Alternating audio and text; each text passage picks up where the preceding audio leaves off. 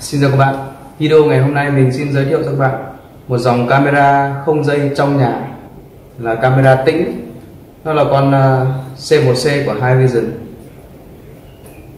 Thì à, con C1C này bình thường nó sẽ có hai phiên bản. Phiên bản thứ nhất là phiên bản 1MP là 720 Phiên bản thứ hai là phiên bản 2MP là 1080 Thì các bạn có thể hiểu rằng cái phiên bản 1MP720 này, nó sẽ cho chất lượng hình ảnh như là hình ảnh một cái TV ờ, với độ nét bình thường ờ, màu sắc hiển thị, độ nét mình có thể xem bình thường được, có thể chấp nhận tốt, vì mình nhìn vẫn thấy nét này còn ờ, phiên bản 2MP 1080 thì nó sẽ cho chất lượng hình ảnh Full HD màu sắc hiển thị nó sẽ rõ ràng hơn mượt hơn, độ hình ảnh của nó sẽ căng, nét bình thường nó sẽ có hai phiên bản như vậy. Còn ờ, nếu một số bạn nào có, có tìm hiểu qua về những dòng camera thì chắc hẳn là sẽ không thể nào mà không biết đến thương hiệu EZBit High Vision. Cái thương hiệu EZBit này thì nó là một công ty con của công ty Hikvision một công ty rất là lớn và đã có rất nhiều năm kinh nghiệm làm camera và những thiết bị an ninh như đo thân nhiệt hay là camera biển số xe hay rất là nhiều camera. Thì nó đã phát triển ra một thương hiệu con là EZVIT để chuyên biệt về những dòng camera không dây trong nhà cho gia đình, ngoài trời cho gia đình và những hộ kinh doanh cơ sở sản xuất nhỏ. Thì bây giờ mình sẽ ở trên, ngay trên thân hộp, bạn có thể thấy những cái tính năng của nó như là phát hiện chuyển động thông minh này thì ở đây nó sẽ phát hiện chuyển động thông minh và ghi hình lại cái chuyển động đấy. Thứ hai là nhìn ban đêm. Cái này nó hỗ trợ hai đèn hồng ngoại để có thể nhìn ban đêm khoảng cách là 12 mét. Thì một số bạn sẽ không có thể là chưa hiểu về cái đèn hồng ngoại này, thì mình cũng giải thích luôn. Thì hai cái đèn hồng ngoại ở hai bên này, nó sẽ có tác dụng chiếu sáng và bổ trợ cho cái camera nhìn ban đêm rõ hơn, thì cái đèn hồng ngoại này nó sẽ không phát ra ánh sáng các bạn nó là một loại ánh sáng, một loại ánh sáng nóng, nhưng nó sẽ không phát ra ánh sáng mắt thường, chúng ta không thể nhìn thấy được, nhưng mà camera thì nó lại hỗ trợ rất là tốt để có thể nhìn thấy hình ảnh đen trắng ban đêm. Một tính năng nữa của nó là đàm thoại hai chiều. Đàm thoại hai chiều đây thì các bạn có thể hiểu đơn giản là nó có thể như mình gọi điện thoại vậy. Đàm thoại hai chiều. Nghĩa là mình có thể nhìn thấy người kia nhưng mà người kia thì chắc là không nhìn thấy mình được? Còn một cái nữa là xem ở bất cứ đâu. Thì cái xem ở bất cứ đâu này thì tất cả những dòng camera, không dây của EZFIT hay là iMount tất cả đều có thể xem ở bất cứ đâu được vì nó cài trên điện thoại mà, bạn chỉ cần cầm điện thoại đi, mở ra, check và xem là sẽ thấy thôi. Hỗ trợ wifi 2.4 wifi 2.4 là wifi cơ bản bây giờ. Có thể, nhà nào cũng có thể là dùng wifi 2.4 được. Cài đặt dễ dàng. Khi cài đặt dễ dàng này, các bạn yên tâm là tất cả những cái camera không dây của Ezevit trong nhà hay ngoài trời nó đều hỗ trợ phiên bản tiếng Việt thế nên là các bạn à, khi cài đặt thì rất là nhanh, chắc chỉ mất 5-10 phút thôi. Vì không gặp bất cứ một khó khăn gì, nó toàn tiếng Việt mà. Các bạn cứ làm theo là được. Và con này hỗ trợ thẻ nhớ đến 256 GB 256 GB tùy theo các bạn mua thẻ nhớ thôi. Đây là ừ, thẻ nhớ cao nhất 256 GB còn thẻ nhớ thấp nhất là khoảng 16 GB hoặc 32 GB thì thẻ 32 GB thì nó có thể lưu đến khoảng một, hai tuần tùy theo chuyển động của bạn. Nếu chuyển động ít thì nó có thể lưu đến cả tháng. Chuyển động nhiều thì nó lưu khoảng một tuần. Còn 256 GB thì nó sẽ lưu đến vài tháng các bạn còn trên đấy là nó sẽ còn hỗ trợ cho mình một cái um, bộ nhớ đám mây. Cái bộ nhớ đám mây này thì mình sẽ phải trả phí theo tháng. Nếu các bạn à, muốn à, cài đặt không lưu thẻ nhớ mà lưu trên bộ nhớ đám mây thì mình sẽ mất phí theo tháng là khoảng mấy chục nghìn đấy. Thế tùy các bạn cài đặt không? Thì bây giờ mình sẽ test thử một con C1C 1080 mở hộp và test thử. Các bạn xem nhé.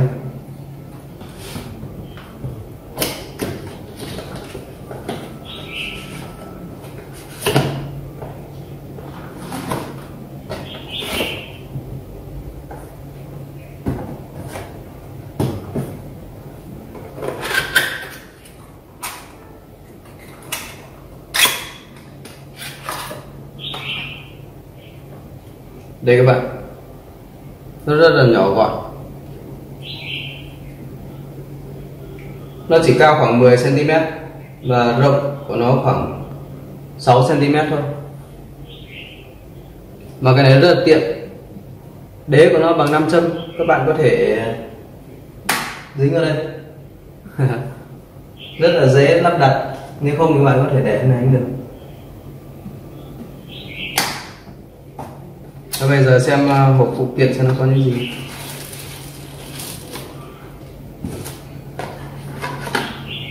Phụ kiện của nó sẽ gồm một quyển sách hướng dẫn sử dụng.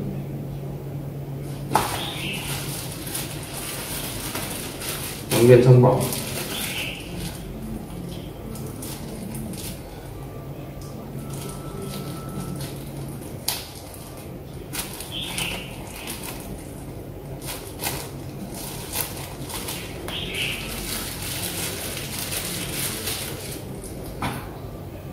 Một cái adapter.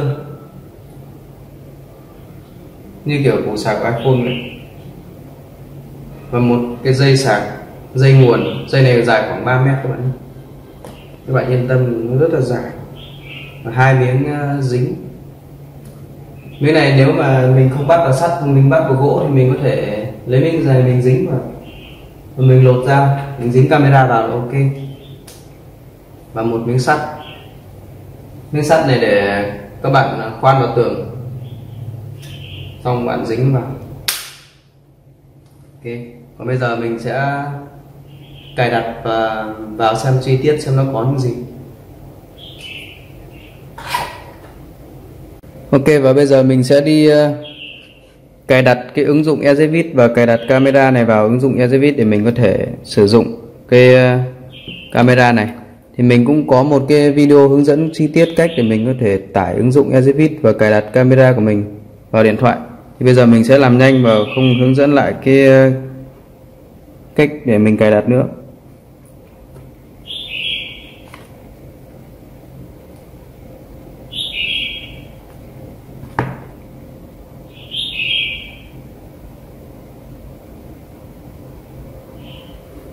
Và như vậy là mình đã cài đặt xong cái ờ, camera của mình.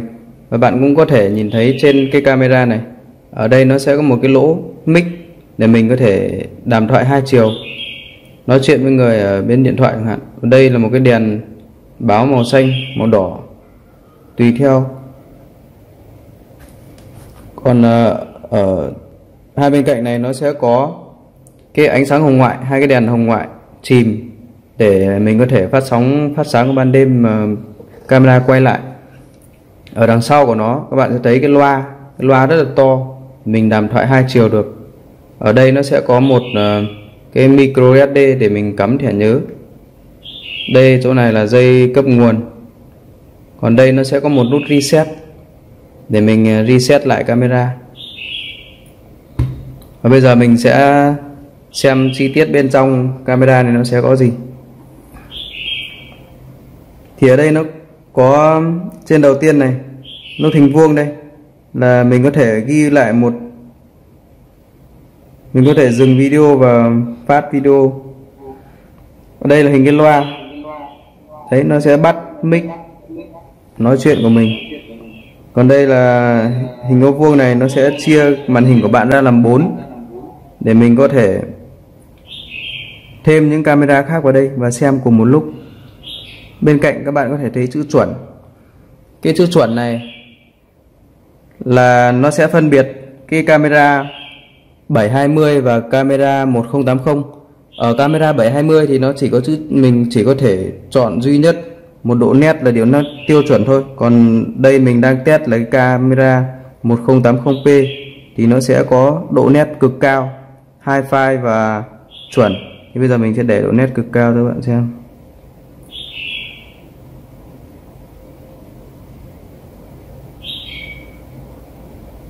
Đấy, các bạn có thể thấy hình ảnh của nó sẽ mượt hơn, độ nét của nó sẽ căng, rõ ràng hơn. Là cái con à, 720 vừa rồi.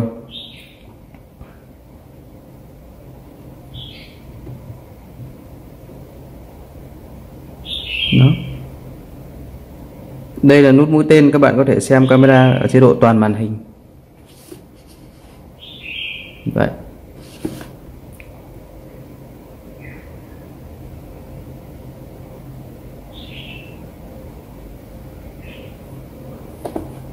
ở đây nó sẽ có nút hình cái mic đây.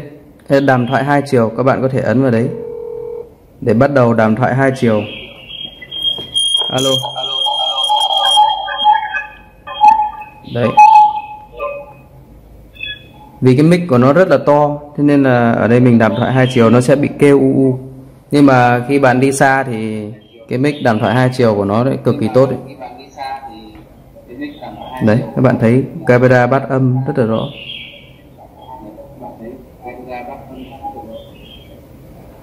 Và đây sẽ có nút chụp màn hình.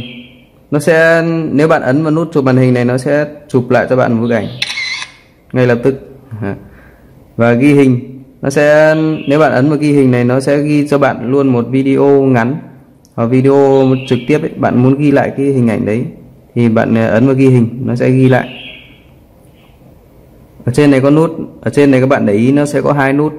Một là nút ba chấm đấy một là nút hình ảnh cài đặt cái nút ba chấm này là cách để mình có thể chia sẻ camera của mình cho một tài khoản khác cho một điện thoại khác được. Thì trên uh, YouTube các bạn có thể vào con mắt thứ ba.com ở trên đấy mình đã có rất là nhiều video hướng dẫn về cách cài đặt hay chia sẻ hay uh, những uh, video về những camera khác và những cách uh, sửa chữa hay là lưu lịch sử chia sẻ lịch sử ở trên đấy các bạn có thể vào để xem. Ở bên cạnh thì các bạn có thể lấy nút cài đặt. Mình có thể ấn vào đây để xem mình có thể cài đặt gì cho con C1C này.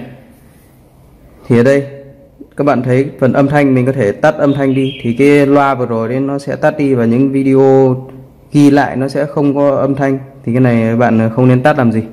Còn đèn trạng thái, đèn trạng thái là cái đèn màu xanh này. Các bạn à, tối ngủ, các bạn có thể tắt cái đèn đi chẳng hạn hoặc là ờ, không cần tắt cũng không sao. Ánh sáng hồng ngoại. Ở đây nó sẽ có hai cái ánh sáng hồng ngoại ở hai bên này. Buổi tối nó sẽ bật lên ờ, hơi đỏ đỏ. Các bạn nhìn thấy nó sẽ hơi đỏ đỏ ở hai bên này nhưng mà nó không phát ra ánh sáng đâu. Thì mình có thể tắt ánh sáng hồng ngoại đi. Nhưng mà nếu bạn tắt hồng, ánh sáng hồng ngoại đi thì hình ảnh ban đêm các bạn thu được nó sẽ rất là tối. Còn ờ, tốt nhất là các bạn nên để ánh sáng hồng ngoại bật nó sẽ bật tự động đến tối là nó sẽ tự bật. Sáng thì nó sẽ tự tắt đi. Đây mình có tùy chọn cài đặt thông báo báo động. Thì bạn có thể bật thông báo báo động lên và cài đặt một vùng nào đấy báo động hoặc là cài đặt tất cả. Khi ờ, có người chuyển động đến thì nó sẽ gửi một tin nhắn báo động và một video cho bạn để bạn xem. Đây, mình có thể cài đặt múi giờ và định dạng ngày ở đây. Mình sẽ cài đặt lại múi giờ Việt Nam. Bình thường thì nó sẽ để múi giờ ở nước khác, nhưng mà cài đặt đầu tiên bạn sẽ phải cài đặt lại. Và mình đã có một video cái hướng dẫn cài đặt đầu tiên, cách cài đặt kiểm tra camera trước khi ờ, sử dụng đấy. Wifi lưu trữ, trạng thái lưu trữ ở đây mình đã lưu trên thẻ nhớ rồi. Các bạn có thể nhìn thấy là cái thẻ nhớ của mình đang đang sử dụng chỉ lưu trữ cho những hoạt động.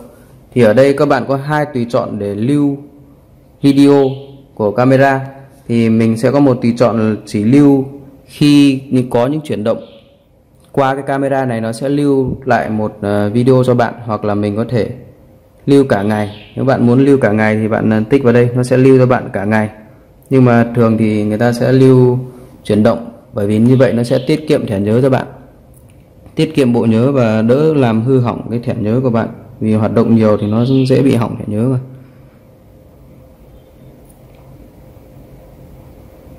Phiên bản thiết bị mã hóa hình ảnh.